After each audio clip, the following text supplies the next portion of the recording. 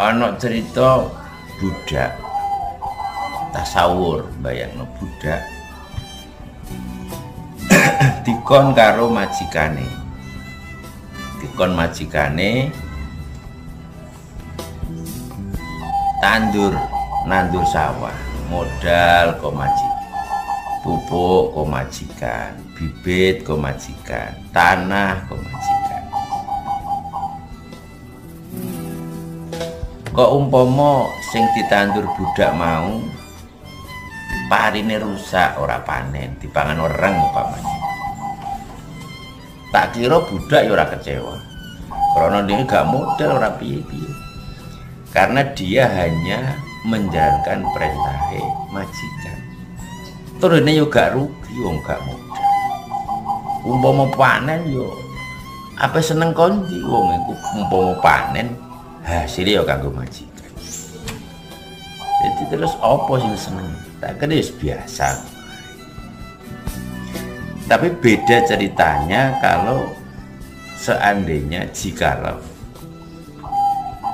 budak mau nandur krono awake kepinginane tandur dewi modal-modal dewi sawah dewi macul dewi kok umpomo sing ditandur mesti kecewa gelo dan loro hati itu mesti.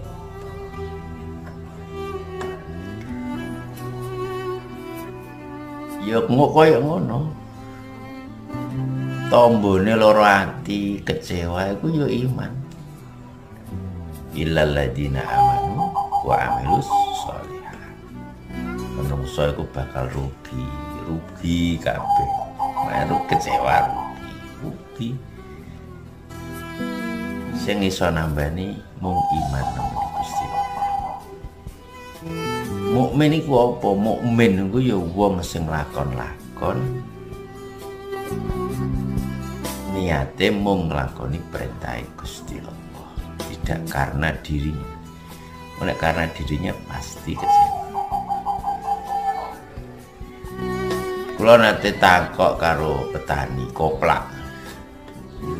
Ya oke koplak tapi kok ya tak angen-angen omongane koplak-koplak itu bener. Cara bahasa keren itu cangkem elek.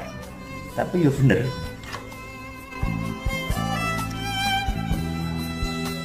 Petani sing parine ku rusak dilalai tak takoki Kang sampean parine rusak kok yo biasa-biasa ndak ada raut muka sing kecewa utawa apa biasa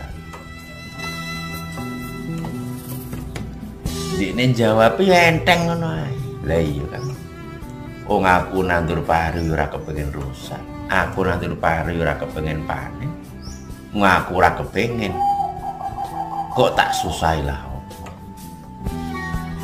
Ngono sih. Ngomongnya biasa. Kecoba aku kepengen. Nah, itu pantes umpama aku. Kok aku gak kepengen. Ya aku gak gelo gak susah. Carane nandur terus panen, aku nandur panen. Aku ora kepengin pariku apik yo gak. Kok mau apik, aku juga seneng-seneng nemen wong aku yo ora kepengin. Ya biasa. Aku ku mlaku nandur pari. Iku mak mung krana aku ki tani, tani diperintah karo Gusti Allah tani, mu nuruti napa sing diperintah karo pangeran wis ngono ae kan. Dadi gak aneh-aneh. Jadi mau angen-angen omongannya, omongan-omongan cangkem elek atau wong koplak lah bener. Ya. Jadi wong menek kapan nggawa angen-angene dhewe, nggawa awake dhewe. Pastikan kekecewaan akan datang suatu hari nanti. Makanya ngendikane guru-guru nek belajari nek ngaji Cung nek niat ngamal iku lillahi ta'ala. Oga lil awake dhewe, oga lil seneng, oga lil kepinginane dhewe ora. Kita tidak memiliki kepinginan. Jadi ibadah kabeh kembalinya kepada Allah. Ora kanggo awake dhewe. jadi nek ora kanggo awake dhewe yo ora apa gak ngarah kecewa? Ibadah perintah yes perintah-perintah wae. Perintah lakoni wis cukup. Tidak kudu mikir swarga neraka ora penting.